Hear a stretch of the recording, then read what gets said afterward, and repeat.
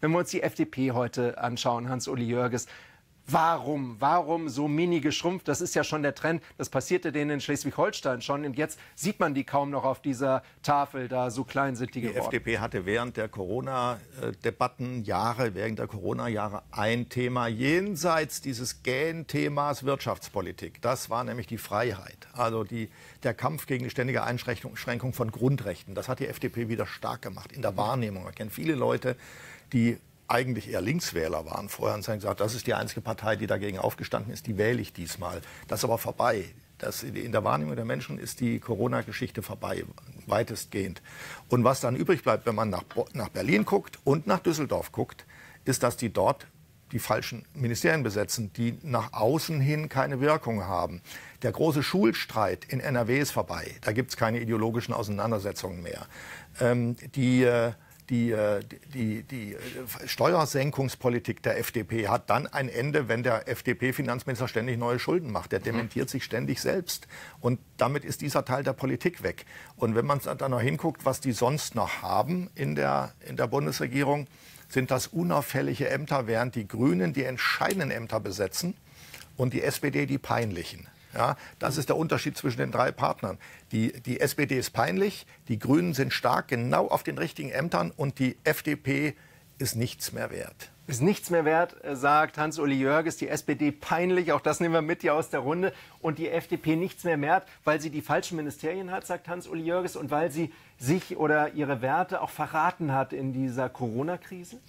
Die FDP hat äh, schon ganz, ganz lange jedes politische Rückgrat aufgegeben. Und das ist genau das zentrale Problem dieser Partei auch jetzt wieder. Ich finde es interessant, wie Sie gerade beschrieben haben, dass die FDP eigentlich eine Corona-verordnungskritische Politik ja, Ja, da hat er sie wieder Nochmal, Rückgrat. Joachim Stamp hat sich beim Kölner Karneval hingestellt als Vizeministerpräsident und hat in einem Moment, also an den ich mich so mit so einem Schrecken erinnere, weil ich gedacht habe, das kann nicht ernst gemeint sein, ja, fröhlich gesungen, impft doch einfach mit.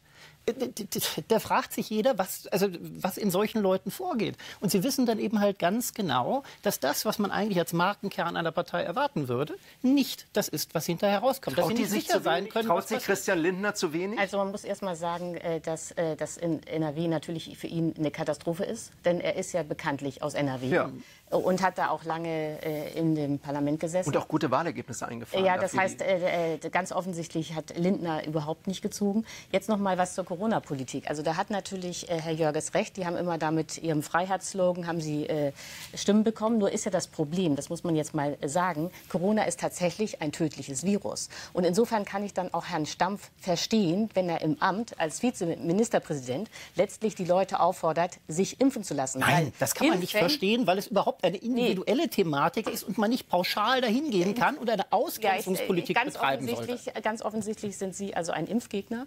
Ich weiß nicht, ob das jetzt hier äh, zur Debatte... Selbstverständlich. Natürlich ja, ob das bin ich ein Gegner von ob das jetzt hier, Das ist, das ist nicht mehr zulässig. Pauschal die Leute, die die Politik kritisieren, sind alle sind selbst Sie, geimpft. Ich bin dreimal geimpft und kritisiere die Politik. Sind Sie Impfgegner oder sind... Wir sind der Auffassung, dass es selbstverständlich, das heißt, wie alle anderen, wir als Good Governance Gewerkschaft sind der Auffassung, dass es selbstverständlich eine Frage ist, die individuell jeder für sich zu beantworten ja, hat. Und dass es nicht angehen kann, dass jetzt Aber in, in dem Fall, Sie haben ja gerade Herrn Stamp äh, nur zitiert, dass er aufgerufen hat. Aufge ja. Ein Aufruf ist für Sie schon sozusagen, geht schon übers Ziel Wenn hinaus. ich mich in einem Regierungsamt hinstelle, auf einer Karnevalsbühne im Übrigen, ja. und eines der integrativsten Lieder, das der Kölner an sich kennt, umdichte auf impf doch einfach mit, dann bist du auch nicht, dann gehörst du wieder dazu, dann ist das einfach nur ein perfides Nudging allererster Güte. Das hat nichts damit zu tun, dass das Leitbild des Grundgesetzes der Bürger ist, der souverän seine eigene informierte Entscheidung ja, trifft. Das Sondern ja das ist der Versuch, ein tumbes Schäfchenvolk in irgendeine Richtung zu drängen. Das ist genau das Gegenteil von dem, wofür eine liberale Partei steht, auch ja. das Gegenteil der Werte. Sie haben gerade Ihre Gewerkschaft zitiert, die Sie gegründet hat, die jetzt viele äh, Branchen dort auch vereinen will will. Unter anderem viele Pflegekräfte sind dort auch eingetreten. Wahrscheinlich eben auch die Pflegekräfte, gerade ausgerechnet, die dann eben impfkritisch sind. Das kurz zur Erklärung dazu. Der Vorwurf war, die FDP hat ihre Glaubwürdigkeit verloren. Nicht ganz. Es gibt ja einen Kopf, der rausragt. Immer noch der die ganze Corona-Politik der Kubicki. Partei getragen. Das ist Wolfgang Kubicki. Der ist glaubwürdig, der ist aber, der hat aber keine, nun ist er stellvertretender äh, Bundesvorsitzender der Partei und er ist aber leider nur Vizepräsident des Bundestags. Er ist, er hat, sofort. Ja, okay. Er hat kein Ministeramt. Aber er hat das repräsentiert, nicht der Parteivorsitzende, nicht die anderen Minister, sehr viel hm. weniger. Er die wollten auch, mit Kubicki in der Zeit ja, nichts zu tun er haben. Er hat ja auch in der eigenen Partei immer wieder Kämpfe ausgetragen und hat sich Verbündete außerhalb der eigenen hm. Partei im Bundestag gesucht. Er war von Anfang bis Ende glaubwürdig. Andere sind geschwankt, haben mal so und mal so geredet. Lindner hat sich ganz lange nicht festgelegt, ne, bis aber, zum Tag aber, der Abstimmung. Ja, aber meine, was man doch jetzt hier sehen kann, ist, dass diese ganze Analyse deswegen nicht stimmen kann, weil wo hat die FDP auch ganz stark verloren? In Schleswig-Holstein. Mhm. Wer ist da der Kopf? Kubicki. Das heißt, Na, war nein, nein, nein, nein, nein, nein, Plakaten war nicht drauf. Nee, aber, je, aber, nein, aber nee, jeder ja in Schleswig, ich komme ja aus Hamburg. Das ist ein Manager meines früheren Verlages. Das ist ein Manager. Der ja. ist ein kühler Manager. Der gewinnt keine Wahl ausgeschlossen. Aber Leider also hat war Kubicki nicht der Mann Hat die FDP jetzt ihre Werte verraten? Hat die ihre Glaubwürdigkeit na, verloren? Na, ich meine, was schon stimmt, ist, dass die FDP sozusagen beim Corona-Thema so getan hat, als wäre sie AfD-Light. Also auch immer so äh, äh, Freiheit, Freiheit. Sie sind Und, ja gut drauf. Ja, ich bin die AfD ist für die Freiheit? Nein, das, das ist nicht. Aber das, das, das wäre eine kritische zurück, das, ja? Nein, aber das waren auch Corona-Skeptiker und äh, die, die zentrale Argumentation die von Das haben Sie gerade gesagt, dass die AfD die, den Freiheitsgedanken vertreten hat in der Corona-Zeit. Das wäre bitter. Das war doch deren Idee. Also die, Nein, die AfD aber, hat eine konsequente aber, Maskenpolitik gefahren. Ja, aber darf ich man ja das noch mal was sagen zum Thema Freiheit? Das scheint ja jetzt hier plötzlich das neue Thema in unserer Nein. Wahlsendung zu sein. Nee, ich würde also, einfach ganz ungern in dieser Wahlsendung hier bei Bild Live die Freiheit der AfD zu ja. überlassen. Das wäre mir ganz unangenehm. Mir auch. Das, na, äh, von mir aus, was mir wichtig ist, das würde ich noch gerne loswerden.